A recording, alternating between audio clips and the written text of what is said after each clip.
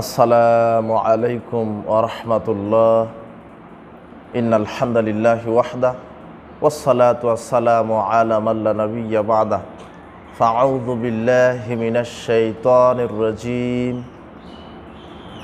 ومن يكفر بالإيمان فقد حبط عمله وهو في الآخرة من الخاسرين সম্মানিত মুসলিম দিনী ভাই ও বোন প্রশংসা আল্লাহর জন্য। দরুদ সালাম আমাদের নবী, শেষ নবী মোহাম্মদ সাল্লাহ আলী ওয়াসাল্লামের জন্য। আমরা আজকে যে বিষয়টা আলোচনা করব তা হলো খারেজি বনাম আহলে সন্নাওয়াল জামাতের আকিদা। খারেজিদের আকিদা কি এবং আহলে সন্নাওয়াল জামাত অর্থাৎ আহলে হাদিসদের আকিদা কি? আমরা এই বিষয়টি জানার চেষ্টা করব। আকিদা হচ্ছে মানুষের জীবনের মূল ভিত্তি। আকিদা যার বিশুদ্ধ হবে, আমল আখলাক তার কথা, আচরণ, আমল সব কিছু তার বিশুদ্ধ হবে এবং আল্লাহর নিকটে তা গৃহীত হবে।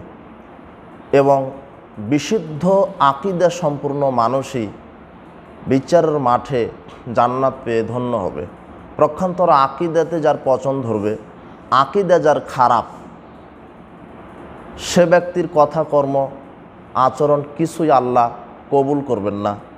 সে ব্যক্তিটি বিচার মাঠে জাহান নামে গিয়ে ক্ষতিগ্রস্তদের অন্তর্ভুক্ত হবে। আল্লাহ বলছেন ওয়ামায়াকফুর বিল ইমান যে ব্যক্তি আকিদের সাথে কুফরি করে ইমানের সাথে যেই ব্যক্তি কুফরি করে, ফাকাদ হাবিতা আমালুহু, তার আমল ধ্বংস হয়ে যাবে। ওয়াহুয়াফিল আখেরাতে মিনাল খসিরিন। আর সে আখেরাতে ক্ষতিগ্রস্তদের অন্তর্ভুক্ত হবে। এখানে আজকে যে আমরা আলোচনা করব, সেটা হলো খারেজিদের আকিদা কি? ইমানের পারিভাষিক অর্থ হল আল ইমান হোয়াত তাসদিক বিল জানান। ইমান হলো হৃদয়ে বিশ্বাস।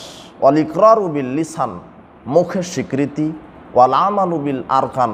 কর্মে বাস্তবায়ন। এই তিনটির সমন্বয়ে ইমান গঠিত হয়। ইয়েজিদুবি মানুষের সৎ কাজে ইমান বৃদ্ধি পায়। বিল মাসিয়া, আর খারাপ কাজে আল্লাহর অবাধ্যতায় ইমান কমে যায়। আল ইমান হোয়াল আসাল ইমান বিশ্বাস ও স্বীকৃতি হলো মূল। ওয়াল আমাল হুয়াল ফারু, আর কর্ম হলো শাখা। এখানে একটি বিষয় লক্ষণীয় যে আহলে হাদিসদের নিকটে ইমানের সংজ্ঞা হলো যে, হৃদয় বিশ্বাস, মুখে স্বীকৃতি, কর্মে বাস্তবায়ন।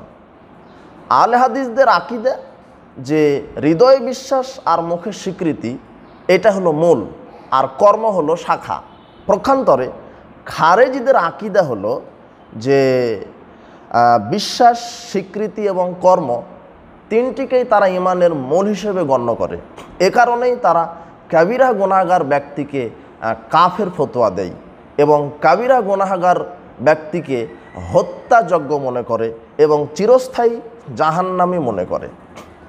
আর আহলে হাদিসদের আকিদা হলো, কাবিরা গুণাগার ব্যক্তি পূর্ণ কাফেরও নয়, পূর্ণ মমিনও নয়, বরং ফাসেক মুসলিম। ব্যক্তি যদি কাবিরা গুনাহ করতে করতে এক পর্যায়ে তৌবা করে তৌবা করে যদি ফিরে আসে, তাহলে আবারও সেই ব্যক্তিটি পূর্ণ ইমানদার হতে পারে। কিন্তু ব্যক্তি যদি কাবিরা গুনাহগার করতে করতে যদি একবারে ওই অবস্থায় মৃত্যুবরণ করে, তবু আল্লাহ তাকে জাহান্নাম খাটিয়ে কালেমা তাইয়েবার বদৌলতে জান্নাতে দিবেন। এটাই কোরআন এবং সই সন্ন্যার অনুকূলে। কিন্তু এই খারেজিদের বিশ্বাস হলো যে কথা বিশ্বাস, অন্তরে বিশ্বাস, কর্মে বাস্তবায়ন এবং মুখে স্বীকৃতি তিনটাকে ইমানের মূল গণ্য করার কারণে তারা এখানে করণ এবং সৈসনার সূক্ষ্ম জ্ঞানের অভাবে, অজ্ঞতার অভাবে তারা কাবিরা গুণাগার মুসলিমকে কাফের ফতোয়া দিচ্ছে। তাদের রক্তকে হালাল মনে করছে। কিন্তু এটা কোরআন হাদিসের প্রতিকূল অবস্থায় চলে যায়। এটা খারেজিদের প্রথম আকিদা। খারেজিদের দ্বিতীয় যে আকিদে, সেটা হলো তারা মনে করে যে ইমানের হ্রাস বৃদ্ধি হয় না। প্রক্ষান্তরে আহলে হাদিসদের আকিদা হলো ইমানের হ্রাস বৃদ্ধি হয়, কমা বাড়া হয়। এ ব্যাপারে আল্লাহ বলছেন, ইন্নামাল মুমিনুনাল্লাযীনা ইযা যুকিরাল্লাহু ওয়াজিলাত কুলুবুহুম। নিশ্চয় মমিন হচ্ছে তারাই। যাদের সামনে আল্লাহর নাম উচ্চারণ করলে তাদের অন্তর কম্পিত হয়। অতুলিয়াত আলাইহিম আয়াতুহু জাদাত হান জাদাত হুম ইমানান আর তাদের সামনে যখন কোরআন মাজিদের আয়াত তেলাওয়াত করা হয় জাদাত হুম ইমানান তাদের ইমান বৃদ্ধিপ্রাপ্ত হয়। অত্র হাদিস সুরা আনফালের দুই নম্বর আয়াত আল্লাহ বলছেন যে মানুষ যদি নেক আমল করে, সলাৎ সিয়াম, তাজবি, তাহালিল, কোরআন মাজিদ তেলোয়া জিকের, আজগার, এক কথায় যত সৎ আমল আছে, সৎ আমল করার মাধ্যমে মানুষের ইমান বেড়ে যায়। কাজেই মানুষের ইমান সৎ আমলে বৃদ্ধিপ্রাপ্ত হয়, অসৎ আমলে কমে যায়, এ কথাই ঠিক ইমানের কমা বাড়া হয়, এটাই ঠিক, যেটা কোরআন এবং সই হাদিসের অনুকূলে। আরেকটি খারেজিদের আকিদা হলো যে খারেজি চরমপন্থীদের আকিদা যে তারা শাসকের বিরুদ্ধে সশস্ত্র বিদ্রোহ করাকে তারা ওয়াজিব মনে করে এবং শাসকের যেটা শাসকদেরকে যারা সমর্থন করে, তাদেরকেও তারা কাবিরা গোনাগার কাফের মনে করে এবং হত্যাযোগ্য মনে করে। তারা শাসকের বিরুদ্ধে যুদ্ধ ঘোষণা করতে যুদ্ধ করতে তারা ওয়াজিব মনে করে। প্রক্ষান্তরে আলে হাদিসদের আকিদা হলো যে শাসক, কাবিরা গোনাগার শাসকদের বিরুদ্ধে সশস্ত্র যুদ্ধ করা, এটা একটি ভ্রান্ত আকিদা। কাবিরা গোনাগার শাসকের ভালো কাজে আনুগত্য করতে হবে, কখনোই শাসকের আনুগত্য মুক্ত হওয়া যাবে না। আর মন্দ কাজের জন্য আল্লাহর নিকটে ধৈর্য সহকারে সৎ উপদেশের মাধ্যমে। করণ এবং সই হাদিসে ভালো কাজের আদেশ, মন্দ কাজের নিষেধের মাধ্যমে শাসক গোষ্ঠীকে বোঝাতে হবে। এটাই করণ এবং সই সন্ন্যার অনুকূলে। যদি তারা ফিরে আসে, আলহামদুলিল্লাহ, না হলে ধৈর্য ধরে সবর করে আল্লাহর নিকটে বেশি বেশি দোয়া করতে হবে। কোনো অবস্থাতেই কাবিরা গুণাগার শাসকদের বিরুদ্ধে সশস্ত্র বিদ্রোহ করা যাবে না। এটা একটি ভ্রান্ত আকিদা। এদের আরেকটি খারেজি চরমপন্থীদের আরেকটি আকিদা হলো যে ওসমান ও আলী রাজি আল্লাহ আনহু সহ তাদের হাতে বায়াতকারী সকল সাহাবিগণকে তারা কাফের মনে করেন। নওয়াজুবিল্লাহ মিন তাদেরকে তারা কাফের মনে করেন এবং সিফিনের যুদ্ধে যে আলী এবং মোয়াবিয়া রাজি আল্লাহ আনহু এবং তাদেরকে যারা সমর্থন করেছিল, প্রত্যেককেই তারা কাফের ফতোয়া দেন। কিন্তু আলে সন্ন্যাল জামাতের আকিদা এটা নয়। খারেজিদের উক্ত আকিদাকে তারা কুফরি আকিদা মনে করেন। আহলে সন্ন্যাল জামাত যাবতীয় সাহাবাদের বিরুদ্ধাচারণ করা থেকে, সমালোচনা করা থেকে তারা বিরত থাকেন। কোনোভাবেই তারা বাড়াবাড়ি পছন্দ করেন না। আলী এবং মোয়াবিয়া রেজিয়াল্লাহ আনহুর মধ্যে যেই যুদ্ধ হয় সিফিনের এটাকে তারা ইহুদিদের সূক্ষ্ম চক্রান্তের ফসল মনে করেন। আরেকটি তাদের আকিদা হলো খারেজিদের আকিদা, যে এদের মৌলিক উদ্দেশ্য হলো খারেজিদের, চরমপন্থীদের মৌলিক উদ্দেশ্য যে যে কোনো পন্থায় রাষ্ট্র ক্ষমতা দখল করা, যে কোনো পন্থায়। প্রক্ষান্তরে আলে জামাতের মৌলিক উদ্দেশ্য হলো ব্যক্তির আকিদা আমল সংশোধনের মাধ্যমে সমাজের সার্বিক সংস্কার সাধন করা। এরা কখনোই রাষ্ট্র ক্ষমতাকে অর্জন করার জন্য উগ্রতা প্রদর্শন করেন না। তবে এরা মনে করেন যে কোরআন এবং সহিসন্না প্রতিষ্ঠার জন্য রাষ্ট্র ক্ষমতাকে সহযোগী হিসেবে মেনে নেন এবং রাষ্ট্র ক্ষমতা পাওয়া এটা একটা বড় সফলতা মনে করেন, অতিরিক্ত সফলতা মনে করেন। কিন্তু প্রকৃত সফলতা হচ্ছে তারা মনে করেন যে বিচার মাঠে জাহান্নাম থেকে মুক্তি পেয়ে জান্নাত লাভ।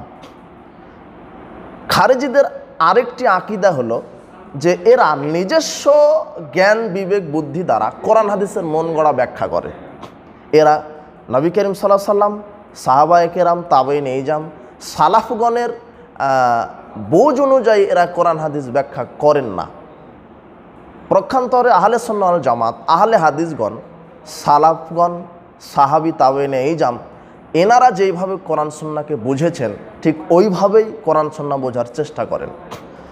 এখানে আমরা আরেকটি বিষয় যেটা লক্ষ্য করি, সেটা হলো যে খারেজিদের এই যে চরমপন্থা আকিদে, এই আকিদে যে তারা ইমানের মৌখিক স্বীকৃতি, কর্মে বাস্তবায়ন, অন্তরে বিশ্বাস, তিনটিকে যে ইমানের মূল হিসেবে গণ্য করে, কাবিরা গোনাগার ব্যক্তিকে যে কাফের ফতোয়া দিয়ে তাদের রক্ত হালাল মনে করছেন, এটা কোরআন সন্ন্যার বিপরীত একটা কথা।